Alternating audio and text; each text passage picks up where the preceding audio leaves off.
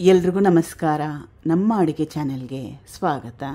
ಇವತ್ತಿನ ವಿಶೇಷ ರುಚಿಕರವಾಗಿರೋ rice recipe. ಇದನ್ನ ಬೆಳಿಗ್ಗೆ ತಿಂಡಿ, ಮಧ್ಯಾಹ್ನದ ಊಟ, ರಾತ್ರಿ ಊಟ ಅಥವಾ ಲಂಚ್ ಬಾಕ್ಸ್ ಕೂಡ ತಗೊಂಡೋಗ್ಬೋದು. ಮೊದಲನೇ ಸ್ಟೆಪ್ಪಲ್ಲಿ ಕುಕ್ಕರ್ ಇಟ್ಕೊಂಡಿದ್ದೀನಿ. ಡೈರೆಕ್ಟಾಗಿ ಕುಕ್ಕರಲ್ಲಿ ಮಾಡ್ಕೊಳ್ತಾ ಇದ್ದೀನಿ. ಎರಡರಿಂದ ಮೂರು ಚಮಚದಷ್ಟು ಎಣ್ಣೆ. ಎಣ್ಣೆಗೆ ಬದಲಾಗಿ ತುಪ್ಪ ಅಥವಾ ಬೆಣ್ಣೆ ಕೂಡ ಉಪಯೋಗ ಮಾಡ್ಬೋದು. ಇದು ಮಸಾಲೆ ಪದಾರ್ಥಗಳು. ಚಕ್ಕೆ, ಲವಂಗ, ಏಲಕ್ಕಿ, ಪಲಾವ್ ಎಲೆ ಚಕ್ರದೋವು, ಸ್ವಲ್ಪ ಮರಾಠಿ ಮೊಗ್ಗು. ಈ ಪದಾರ್ಥಗಳನ್ನ ಸುಮಾರು ಒಂದು ಇಪ್ಪತ್ತು ಸೆಕೆಂಡಷ್ಟು ಬಿಸಿ ಮಾಡ್ಕೋಬೇಕು. ಇಪ್ಪತ್ತು ಸೆಕೆಂಡ್ ಆದಮೇಲೆ ಕಟ್ ಮಾಡಿ ಇಟ್ಕೊಂಡಿರೋ ಎರಡು ದೊಡ್ಡ ಈರುಳ್ಳಿ. ಈರುಳ್ಳಿ ಹಾಕೊಂಡ್ಮೇಲೆ ಕಲಿಸ್ಕೋಬೇಕು. ಆದರೆ ಈರುಳ್ಳಿ ಮೆತ್ತಗಾಗೋವರೆಗೂ ಅಥವಾ ಕೆಂಪಾಗೋವರೆಗೂ ಬೇಯಿಸ್ಕೊಳ್ಳೋ ಅವಶ್ಯಕತೆ ಏನಿಲ್ಲ. ಎರಡು ನಿಮಿಷ ಮೀಡಿಯಮ್ ಫ್ಲೇಮ್ನಲ್ಲಿ ಬೇಯಿಸ್ಕೊಂಡ್ರೆ ಸಾಕಾಗುತ್ತೆ. ಈರುಳ್ಳಿನ ಎರಡು ನಿಮಿಷ ಬೇಯಿಸ್ಕೊಂಡಿದ್ದೀನಿ.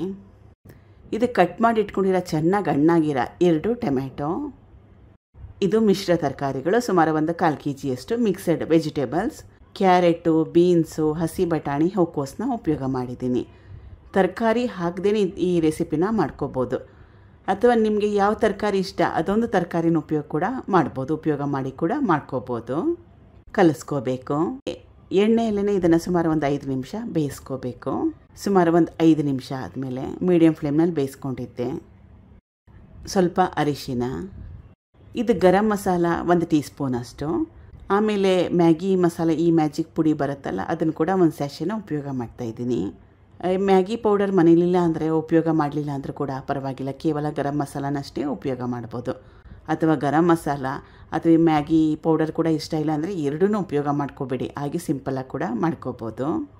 ಬ್ಯಾಡ್ಗಿ ಅಚ್ಕಾರದ ಪುಡಿ ಒಂದು ಟೇಬಲ್ ಸ್ಪೂನಷ್ಟು ಮತ್ತೊಮ್ಮೆ ಸುಮಾರು ಒಂದು ಇಪ್ಪತ್ತು ಸೆಕೆಂಡಷ್ಟು ಬಿಸಿ ಮಾಡ್ಕೋಬೇಕು. ಒಣ ಮಸಾಲೆನ ಹಾಕೊಂಡ್ಮೇಲೆ ಇದು ಅಕ್ಕಿ ತೊಳೆದಿಟ್ಕೊಂಡಿರೋ ಅಕ್ಕಿ ಸುಮಾರು ಒಂದು ಕಾಲು ಕೆ ಜಿಯಷ್ಟು ಇಬ್ಬರಿಗೆ ಧಾರಾಳವಾಗಿ ತಿನ್ಬೋದು, ಹೇಳಿರೋ ಕ್ವಾಂಟಿಟಿಯಲ್ಲಿ ಮಾಡಿಕೊಂಡ್ರೆ. ಈ ಒಗ್ಗರಣೆ ಜೊತೆಗೇ ಒಂದೆರಡು ನಿಮಿಷ ಬಿಸಿ ಮಾಡ್ಕೋಬೇಕು ಅಕ್ಕಿನ.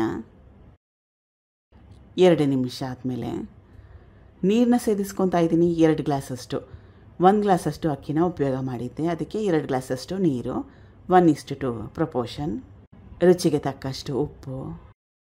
ಉಪ್ಪನ್ನ ಹಾಕೊಂಡ್ಮೇಲೆ ಚೆನ್ನಾಗಿ ಕಲಿಸ್ಕೋಬೇಕು. ಎರಡರಿಂದ ಮೂರು ಸೀಟಿ ಕುಗ್ಗಿಸ್ಕೊಂಡ್ರೆ ಸಾಕಾಗುತ್ತೆ. ಎರಡು ಸೀಟಿ ಕುಗ್ಗಿಸ್ಕೊಂಡ್ರೂ ಕೂಡ ಸಾಕಾಗುತ್ತೆ. ಈಗ ಕುಕ್ಕರ್ ಆಗಿದೆ. ಬಡ್ಸೋಕ್ಕೆ ಮುಂಚೆ ಒಂದು ಸಲ ಚೆನ್ನಾಗಿ ಕಲಸ್ಕೊಂಬಿಡ್ಬೇಕು ಚಿಕ್ಕ ಚಿಕ್ಕದಾಗಿ ಸಣ್ಣದಾಗಿ ಕಟ್ ಮಾಡಿ ಇಟ್ಕೊಂಡಿರೋ ಕೊತ್ತಂಬರಿ ಸೊಪ್ಪು. ಕೇವಲ ಹತ್ತೇ ನಿಮಿಷದಲ್ಲಿ ಮಾಡ್ಕೋಬೋದು. ತರಕಾರಿ ಕಟ್ ಮಾಡಲಿಕ್ಕೆ ಕಷ್ಟ ಆದರೆ ತರಕಾರಿನ ಹಾಕ್ಕೊಳ್ದೆ ಈರುಳ್ಳಿ ಟೊಮೆಟೊನ ಉಪಯೋಗ ಮಾಡಿದ್ರೆ ಕೂಡ ಸಾಕಾಗುತ್ತೆ. ಥ್ಯಾಂಕ್ ಯು ಫಾರ್ ವಾಚಿಂಗ್ ಧನ್ಯವಾದಗಳು.